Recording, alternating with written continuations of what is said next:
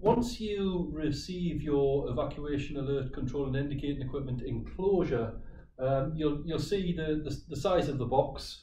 Um, obviously the box will be identified, it's, it's heavy. Uh, this enclosure typically weighs 70 kilos, okay, 70 kg.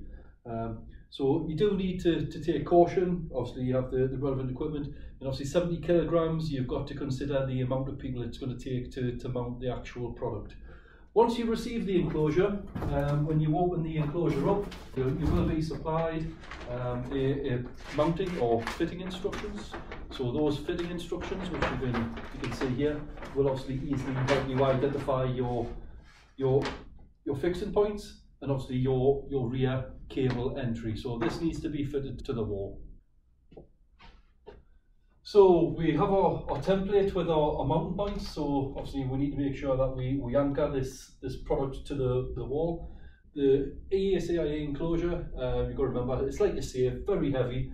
Uh, get the anchor points in place, remember your, your rear cable entry.